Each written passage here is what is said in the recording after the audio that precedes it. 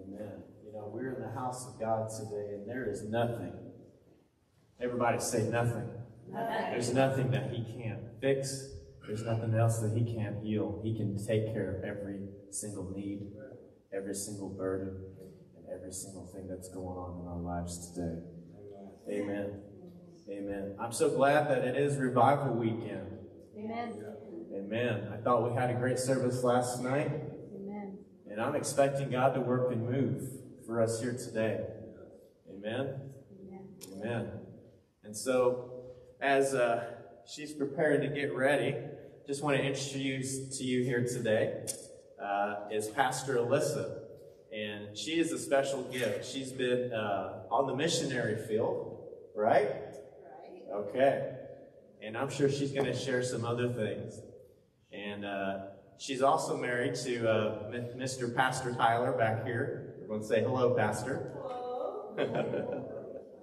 and so let's just give them a warm welcome here uh, this afternoon. Amen. Amen. And so, Pastor, I'm going to hand this over to you. Thank you. Hello, Greencastle Church of the Nazarene. Hello. Um, I feel honored to be here today. I feel honored that God would call me here um, into this house to worship with you. So thank you for letting me come and minister to you. Uh, like Pastor Phil said, I'm Pastor Alyssa. Um, I serve and minister at Princeton New Life Church the Nazarene. Um, I'm an associate pastor there, associate pastor of discipleship. I'm also the NMI president, so uh, my role, what I do there is I just help Princeton New Life to become a missional people and uh, answer the Great Commission, fill the Great Commission to go and make disciples of all nations. Um, so yes, I am married to Pastor Tyler, that beautiful bald man right there. um, he is the associate pastor of blessing at New Life. If you don't know what that is, ask him after service. He'd love to tell you. But so we've been married for a little over a year now. Um, don't have kids. Don't want any kids. Um, we're on the path to ordination, so we're in uh, seminary classes. Um, not ordained yet, but well on our way. Um, but we just want to spend our lives just pouring ourselves out for the gospel of Jesus Christ. And we like to say that we love to just destroy hell for a living. Amen. So, Hallelujah. yeah. So we feel privileged to be here today and to, to worship with you all. One time in a staff meeting, our, our pastor, Pastor Andrew, he says something like, so we're just a group of people that really most of the time have no idea what we're doing. And so I just want to be really confessional. I have I just feel like I have no idea what I'm doing, but I do want to just be obedient to what God has called me to share, what He has put on my heart. I want to be faithful with that. Yeah. And so um, I will do that today in love and in humility. But um, I don't know how long this is going to take. I just want to release God's message until the Spirit releases me. Um, so if you would, just bow your heads. Just want to spend some time uh, welcoming Him here in this place today. Lord, it is so good to just gather together under this this roof in your house, Lord, to to be where you already are, Lord, to come and to meet with you, Lord. Um, we just want to we just want to tell you today, Lord, that you are welcome here in this place. You are welcome to to speak to us. You are welcome to move in the ways that you want to move, Lord. Um, and whatever you're calling us to, whatever you're speaking, Lord, we promise to be obedient to that, Lord. And so I just pray for every heart, for every individual that's here, um, that might be on a live stream somewhere. I just pray, Lord, that their hearts would be receptive to you, that they would be sensitive to the words that you're going to speak, Lord, and to not just let a word, that word just come to us and leave us, Lord, but to come to us and change us, to be more made into the image of Jesus Christ, to be made more holy, Lord. Make us holy as you are holy, Lord. Just we just love you, Lord. Use me um, to speak your word to your people. Um, pray that you help me to speak this in confidence and in boldness, Lord. We just praise you. You're worthy of it all. In Jesus' name, Amen. Amen. So, um, you have a Bible with you. You can open it. I know that it's up there on the screen, but sometimes it's just good to have a physical Bible in your hand. It's your sword. Uh, we're going to be in the Songs of Solomon. I don't know how many you, of you in here today have ever uh, heard a sermon on Songs of Solomon, so might be first time, but this is just a word that God put on my heart to speak to you. But um, some people interpret this book um, as a as the relationship or the love between God and His church, so God and us. Um, so I'm going to be in chapter five, and I'm going to read a couple verses. So I'm going to start actually in verse two. And I'm reading out of the NLT version. So it says, I slept, but my heart was awake when I heard my lover knocking and calling, Open to me, my treasure, my darling, my dove, my perfect one. My head is drenched with dew, but my hair with the dampness of night. But I responded, I have taken off my robe. Should I get dressed again? I have washed my feet. Should I get them soiled? My lover tried to unlatch the door, and my heart thrilled within me. I jumped up to open the door for my love, and my hands dripped with perfume, my fingers dripped with lovely myrrh as I pulled back the bolt. I opened to my lover, but he was gone. My heart sank. I searched for him, but I couldn't find him anywhere. I called to him, but there was no reply. The night watchmen found me as they made their rounds. They beat me and bruised me and stripped off my veil. Those watchmen on the walls make this promise, O woman of Jerusalem. If you find my lover, tell him I am weak with love.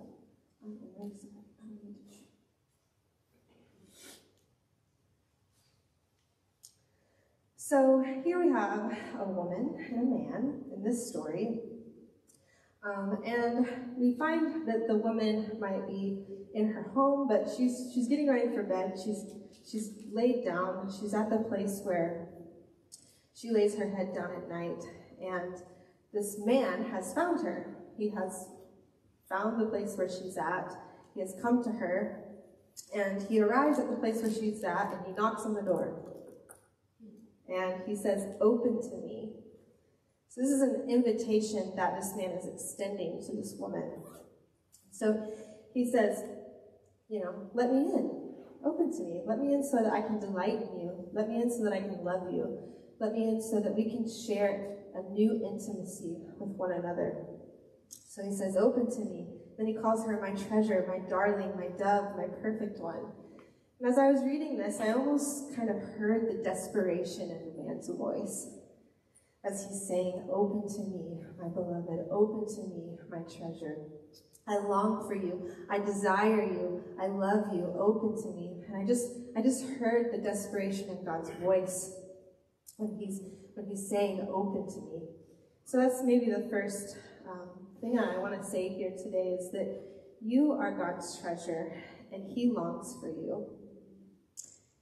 He is a God that wants intimacy with you. He is desperate for you. He longs for you. Yes. yes. So, so when I, when Tyler and I met, I was still a missionary living living in Brazil, and so our relationship actually started thanks to Lydia. But our relationship started while I was home for a vacation, and so I don't want to give all the details because no one cares about that.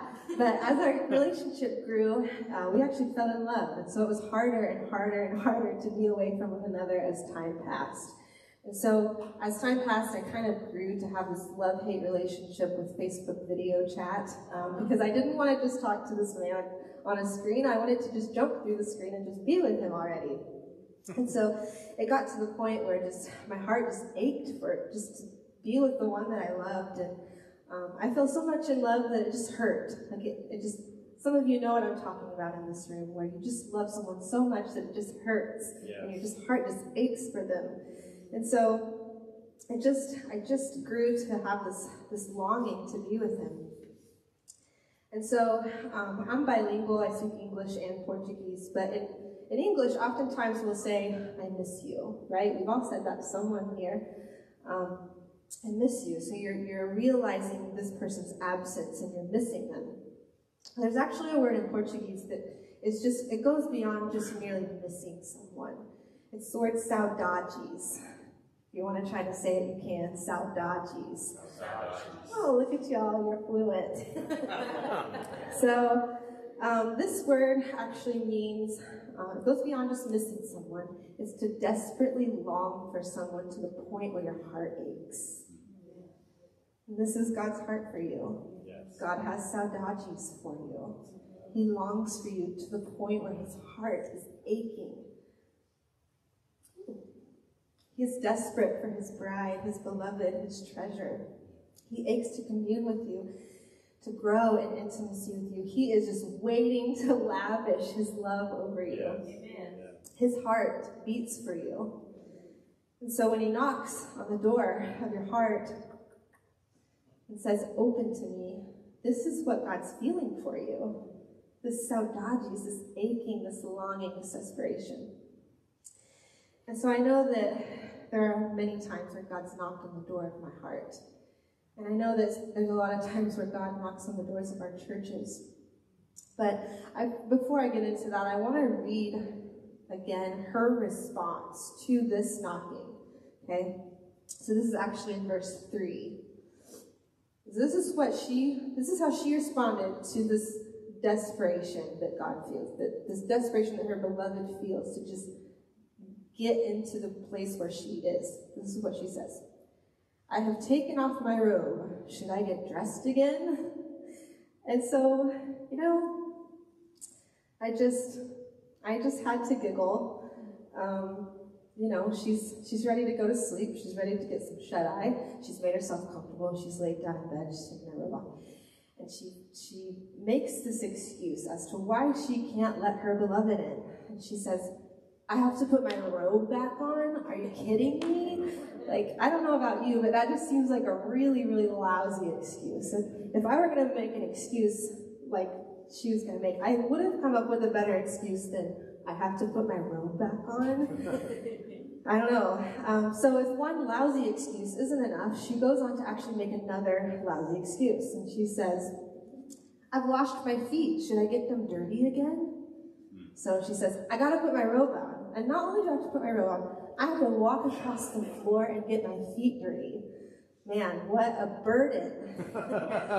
so this is something that you know, there's these excuses that she's making as to why she can't just let her beloved in. And so, you know, I feel like we do that in our own lives. You know, we hear God knocking at the door of our heart, saying, "Hey, let me in. I want to delight you. I want to love you. I want to. I want to share an intimate moment with you." Yeah. And and we just make these lousy excuses of just, well, I, I just can't because of fill in the blank. I can't because I have to go to the grocery store. And Tyler and I were talking about this on the way here, but God is a God who can make manna fall from heaven, and yes. we're worried about going to the grocery store. Yes. And I just, you know, we're worried about that, and God wants to have an encounter with us. And so she's made this knocking some kind of inconvenience for her. So this is something that's going to come to disrupt her routine, to dis- disrupt her normal um, something that will cause her to be made uncomfortable. She has to put a robe on and walk across the floor. And so he extends this invitation to share love and intimacy with her, and it's met with excuses. It's met with also two different things that I, I thought about as I was reading this, and those two words are apathy and indifference. Yes. And I looked up the definition of those, basically the same thing. Apathy is the lack of emotion or interest. Indifference is without interest, without enthusiasm or concern about something. So we do this in our own individual lives. We hear him knocking the door of our hearts, the invitation to spend time with us. We hear him wanting a greater intimacy with us. We want, hear him wanting us to step more into a fuller way into his love. And oftentimes I've done it, you know, we've probably all done it. We respond with those three things of excuses, with apathy, with indifference.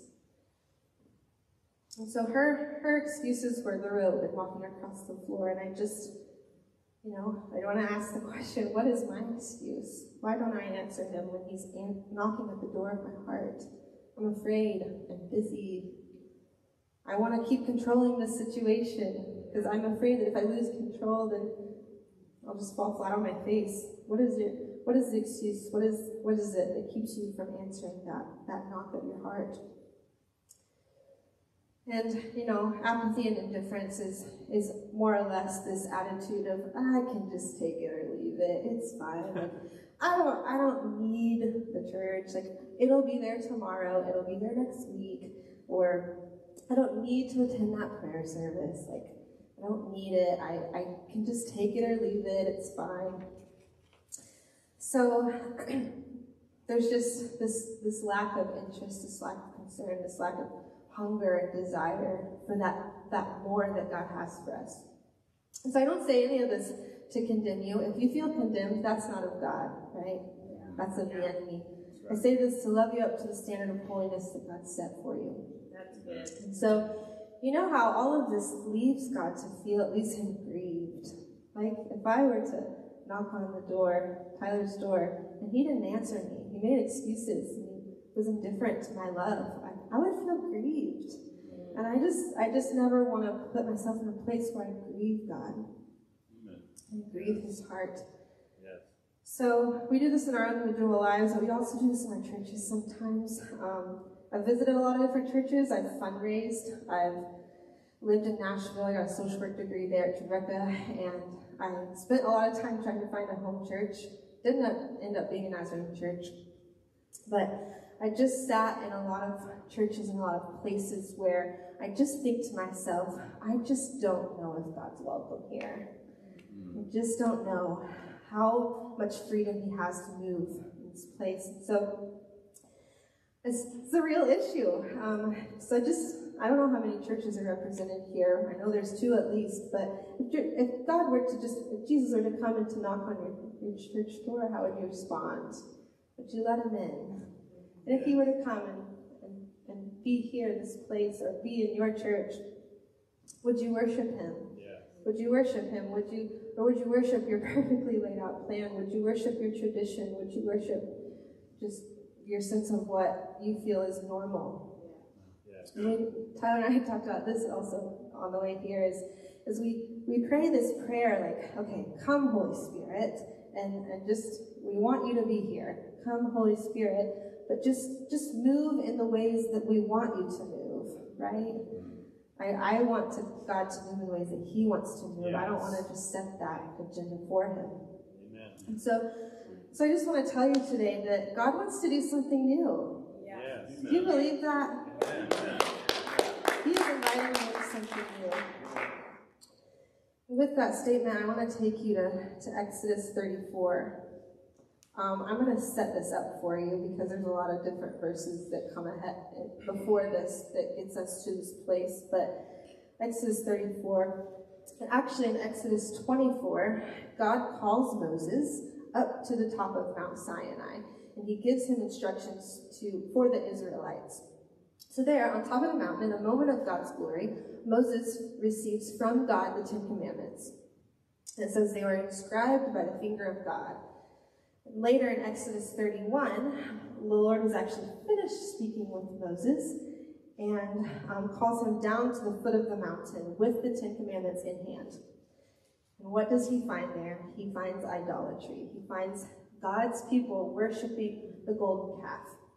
So Moses, in a fit of burning anger and rage, takes the Ten Commandments, so inscribed by the finger of God on these stone tablets, and he just throws them on the ground out of anger. And as he throws them on the ground, they, they break. They're in pieces, okay? And so this is where I want to pick up in Exodus 34, verses 1 through 4. Then the Lord told Moses, Chisel out two new stone tablets just like the first ones. I will write on them the same words that were on the tablets you smashed. Be ready in the morning to climb up to Mount Sinai and present yourself to me on top of the mountain. No one else can come with you. Fact, no one else is to appear anywhere on the mountain. Don't even let flocks or herds graze near the mountain. So Moses chiseled out two, two, two new stone tablets just like the first ones. Early in the morning, he climbed Mount Sinai as the Lord commanded him. He carried the two stone tablets in his hands. So, it's important sometimes when we read scripture to know what God's not saying. So, what God did not command Moses to do was Moses take those broken pieces and take them back up to the top of the mountain so that I can take the broken pieces and just put them back together again. God didn't say that. God didn't command that. Um, God wanted to make something new. Okay? So this something new didn't have a brand new identity. It was still the same Ten Commandments. It was just written on two new stone tablets. And so it was a new creation. Okay, so I do want to just, before I go on, say that nothing and no one is irreparable or ir- irredeemable. Is that a word? Yes. But oftentimes he does want to do something new, something new inside you, something Yeah. new inside your family, something new inside your church, something new inside your community. Yes. He wants to do something new, but oftentimes we can't step into that new thing when we're just so busy hanging on to these broken pieces, right? This right. broken thing that doesn't really work anymore. And so all of us here today, I hope, we're all here seeking revival. Yes. So we want revival in our families, inside of us, in our churches, in our community. Yes. Um, something we desire, but this desired revival can't happen when we're wishing and praying for God to take something broken and fix it. Oftentimes, God's going to ask you to take your broken pieces and grieve them. Grieve that thing that's old. Grieve that thing that's broke. We can't take that and say, here, make it work again. Yeah. No, he's like, no, grieve it and leave it Yeah. so that I can welcome you into the new thing that I have for you. Yes. Yep. So, so sometimes he just wants to do a brand new thing. And, and oftentimes I respond to that to God and say, well, that old thing was really good, God. I just really loved that old thing. And he's like, don't you trust me? Like, can't, can't you trust me that the new thing is also really good? Yes. And so it hurts to grieve those old things, those broken things, but you can trust that the new thing is also very good. Yes. Why? Because God gives really good gifts to his children. Yep. Yes. And so, I just want you to remember this. Revival happens when we respond to God's invitation to do something new. Mm-hmm. Yeah. Yes. Yes. I want the new thing. I don't want to just keep praying that God take my old thing, make it whole again, make it work again. Because the new thing is oftentimes just as good, but it's also oftentimes even better than the old thing. Yes. So I know I'm jumping around a lot. Maybe this is exhausting for you, but I'm going to go back to Songs of Solomon. And I want to finish that story, verses 4 through 7. So, this woman was delayed in her response to open for her beloved. And when she finally opened the door for him, we read that he was not there anymore. He's no longer to be found. And I just wrestled sometimes with this part of the story because it's really, you know, natural for me to think, well, God's always knocking at my door. He never stops knocking. So, like, what, Lord, what is it that you want to speak to me in, in that part of the story? This is, this is what I got. So I shared this story with New Life a couple months ago, so if you've heard this, I won't apologize, but you're going to hear it again. So a couple years ago when I was living as a missionary in Brazil, oftentimes we would go to this basketball park, okay? And that specific day, it started to rain, which was sometimes a moment of praise for us because everyone in the basketball park would huddle underneath of this shelter until the rain would pass. And so it's just a perfect opportunity to do ministry, perfect opportunity to evangelize, speak the gospel, do worship songs. So someone on my my uh, missionary team, his name's TJ, he got out his guitar and he just starts playing worship music. And before you knew it, everyone who's at the basketball park is in a circle, and we're all just praising the Lord. Some of them didn't even know a single word to the song, but that was okay. We were all in a in a spirit of worship in that place. And so, as we're worshiping, I'm standing there and I'm looking at all the people that are in this circle, and I'm like, hey, wow, this is really great. And God just kind of taps me on the shoulder and He's like, that girl over there. And he draws my attention to some a girl that's on the exact opposite side of the circle. And and he's like, I want you to go over there and I want you to stand next to her and I want you to hug her. I'm like, what? you want me to do what? That's weird. I am not someone who loves hugs. Um, I bless all of you who are huggers. We need you in the body of Christ. I'm not a hugger. This girl does not know my name. I do not know her name, and she probably doesn't want me to hug her, Lord. And so I just hesitated, and I made these excuses in my mind of why I couldn't just go and do the thing God asked me to do, even if it didn't really make sense to me, and even if it was uncomfortable. So I dismissed it. Okay, so I'm standing there, and my teammate Brooke is sitting right next to me, and I just look over and I see her, and she's walking across the place, and she's walking around the circle, and she goes and she stands right next to the girl and puts her arm around her. And in that moment, my heart was so grieved. It still grieves me. And so I just realized that in that moment, God wanted to use me to bring revival into that girl's heart. Amen. And I wasn't willing. And I made excuses. And I was indifferent to his, his command and his love for her. I was indifferent to it. Yeah. And so I just was grieved. I started crying and I was like, Lord, I know that you wanted to use me. And just, I don't love that you had to go and seek someone else to use because I wasn't willing. And so I just, I carry that story with me because, you know, if I'm not willing to be used by God to bring revival to the people and the places around me, He's going to go use someone else to accomplish His will. Yeah. And I want to be the one that God uses. I don't want to dismiss Yes. that, right? Right. And then So, so God wants to to bring revival in places where we are through us as individuals, but He also wants to bring revival through our churches, right? And I, I don't I don't want God to knock on the door and be like, well, that people's not willing. I'm going to go somewhere else to accomplish my will. I'm going to bring revival through someone else. I don't want that. I want to be the one that God uses. I don't know about y'all. So we see the woman in Songs of Solomon go out into the night. So she um, finds that her beloved's not there anymore. So she actually takes a step to go seek him out.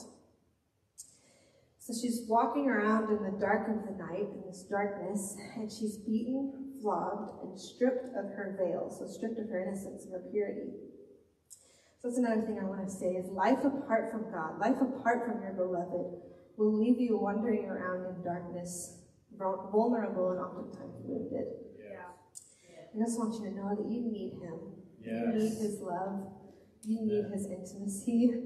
If you don't have it, if you don't respond to his invitation, you're just going to keep walking around in darkness. Yes. But there's good news in this story. Don't worry. She does end up finding him. She does end up seeking him out. Um, I'm actually going to go to Songs of Solomon 6, verses 1 through 3.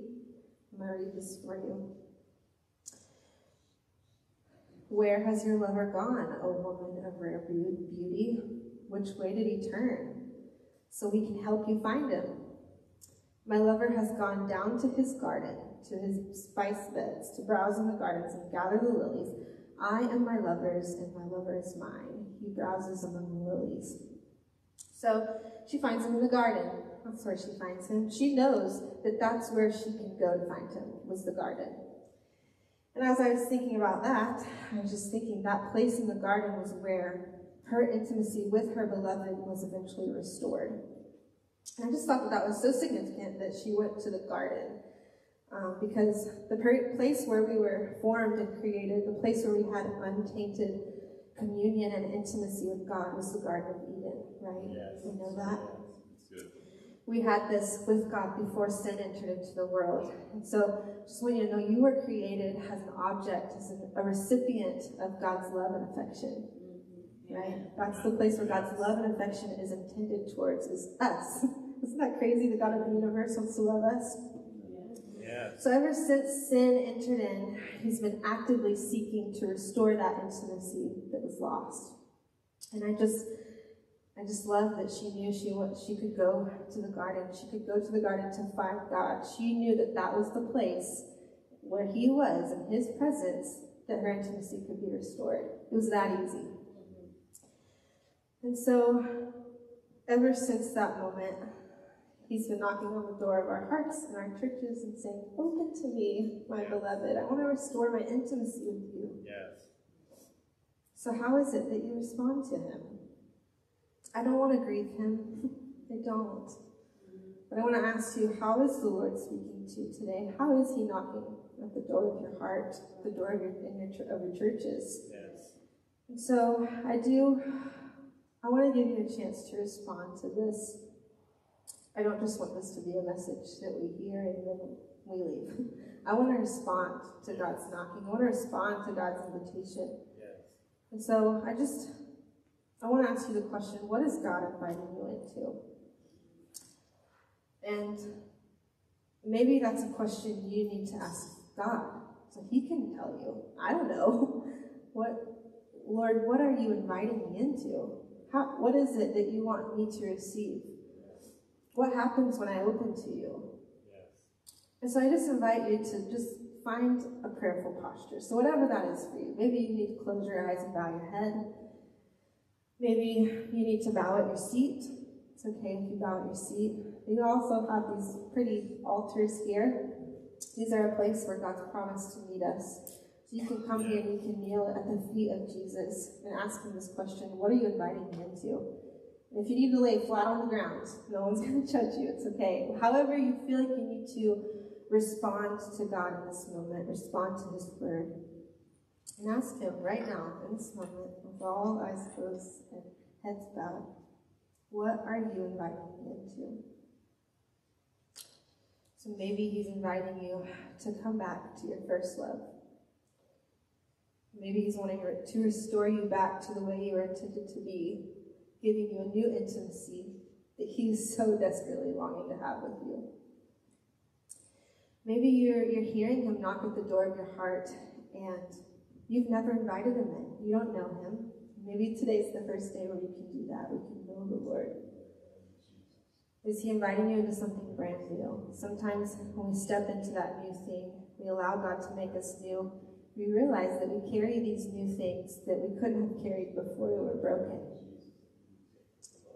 Maybe God's asking you to grieve those broken pieces, those old ways. Stop looking back and longing for what you were and what you had before you were broke. To look forward to who He's longing to make you into. He's inviting you into your church. He's inviting you into something new. And maybe you're the one that's going to go and lead those people into that.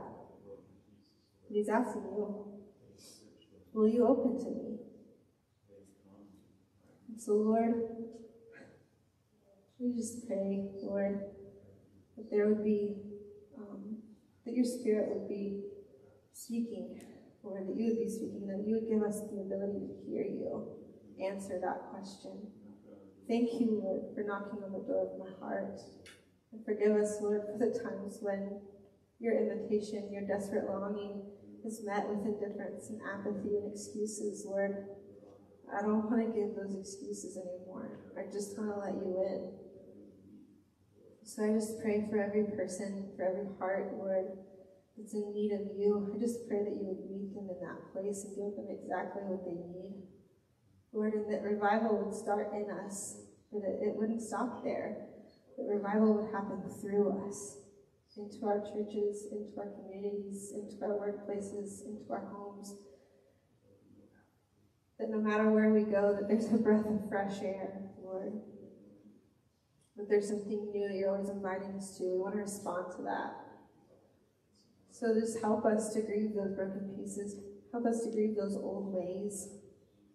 And to invite the new thing in without fear, without hesitation. Lord, we don't have to fear you. We know that you give good gifts to those that love you and that you love. So just come Lord, um, we love you and we just praise you for the work that you're doing in our hearts and our churches. We pray all of this in your precious holy name. Amen. So, since Pastor Tyler is the pastor of blessings, I want him to come and pray a blessing over you. You want to be blessed? Amen. Amen. Amen. Thank you.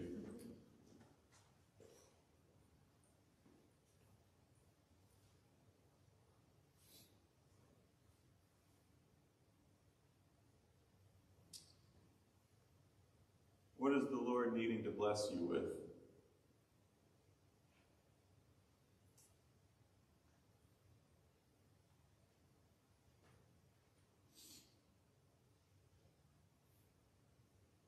Is it a greater hunger?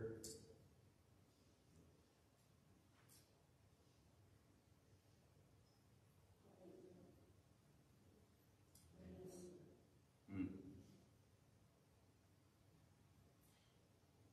You all are here on a Saturday at noon. But you guys aren't the only ones in this church.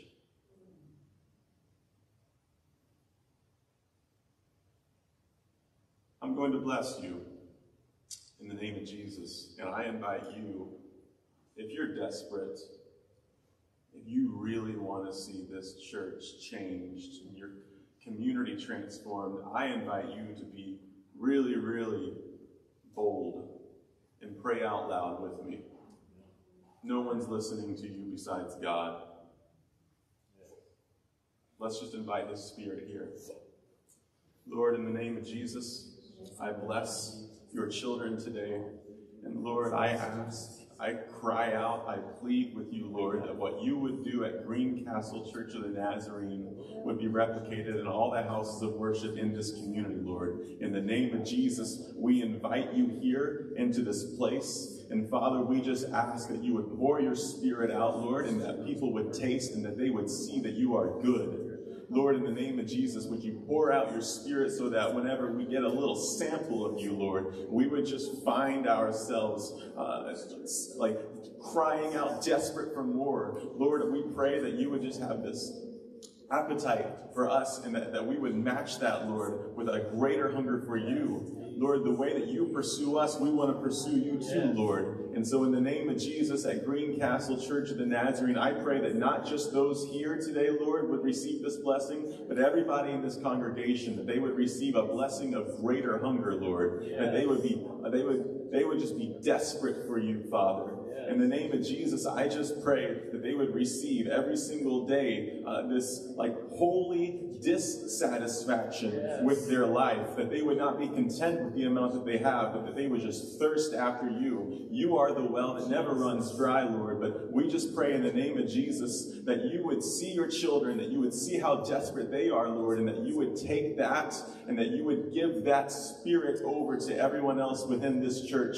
And Lord, I pray that we would be the hands and feet of Jesus with that hunger, that we would not just sit idly within our church and worship you and praise you, Lord, but that we would go out into the community. In the name of Jesus, we just ask that you would bless us with a greater hunger than we stepped foot into this sanctuary today with, but that you would also, you would just take that and multiply it within the hearts of every single person who could not be here today, Lord. In the name of Jesus, we pray for a greater hunger. We pray for this, Lord, and we cry out to you, Abba, Father, because you are good. You give good gifts, and you want to bless us in this way, Lord. We cry out to you, and we just pray that you see us, that you sense our desperation, and that you give us a greater hunger because of it. Lord, in the name of Jesus, we sit and we listen now.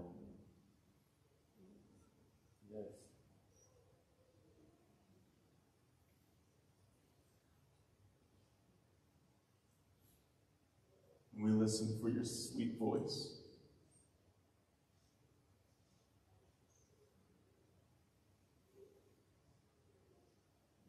Meet us in the garden, Lord.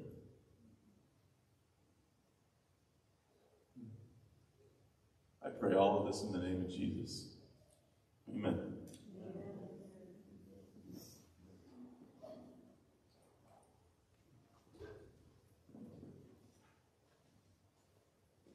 Well, You, but I felt the presence of the Lord Amen. today.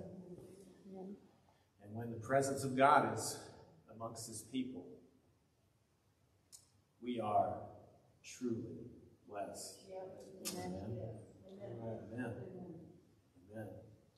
Well, as we adjourn and leave this place today, I want us to take some time today in your day to pause and to keep praying the prayers that have been lifted up within this house today.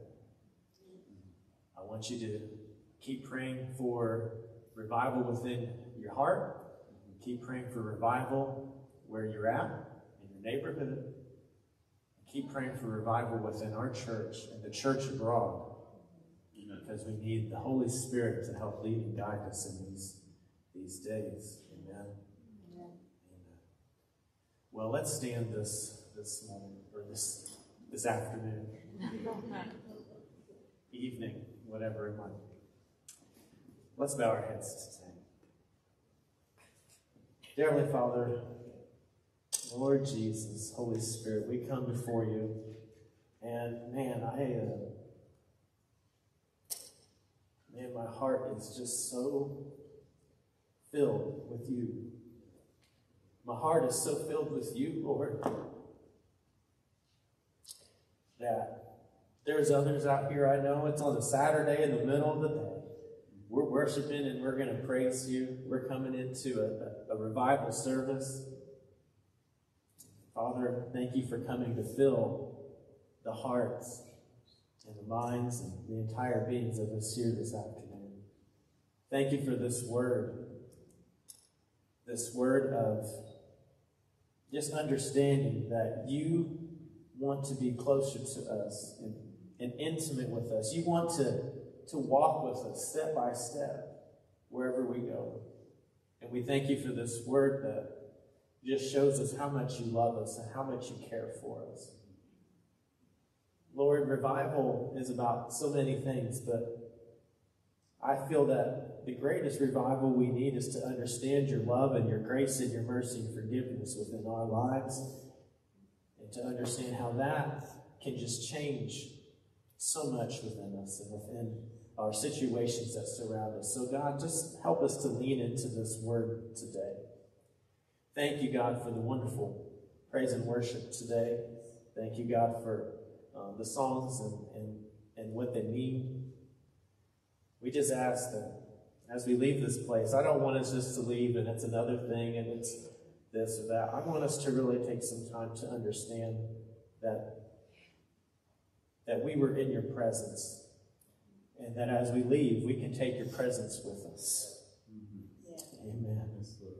And so, Lord, help us. Wherever we go, help us take your presence with us and help it to be just holy and anointed uplifting and encouraging to our community and to those around us. Thank you, God, for meeting with us here today. All of God's people say, Amen. Amen. Amen. Amen.